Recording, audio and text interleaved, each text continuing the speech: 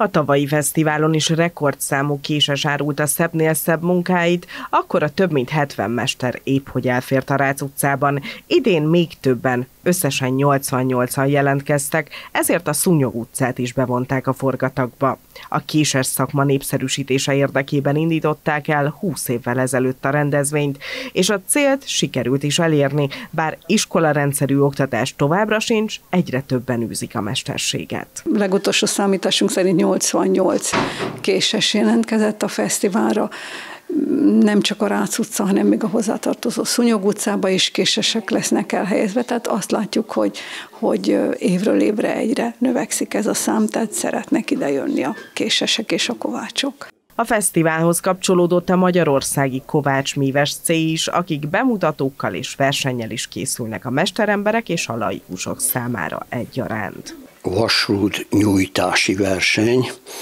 Minden versenyző azonos méretű vasdarabot kap, amit adott idő alatt a lehető leghosszabbra kell megnyújtani, úgyhogy ez egy ilyen milliméterben jól objektíven mérhető dolog.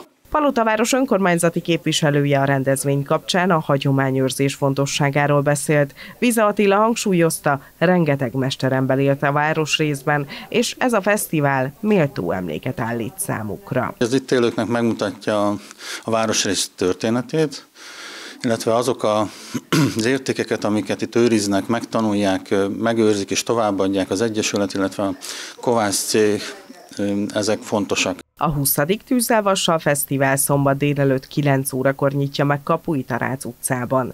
Színpadi programok, mesterségek bemutatói, gyermekjátszó, kézműves foglalkozások, kiállítások, tárlatvezetések várják az érdeklődőket a Palota városban.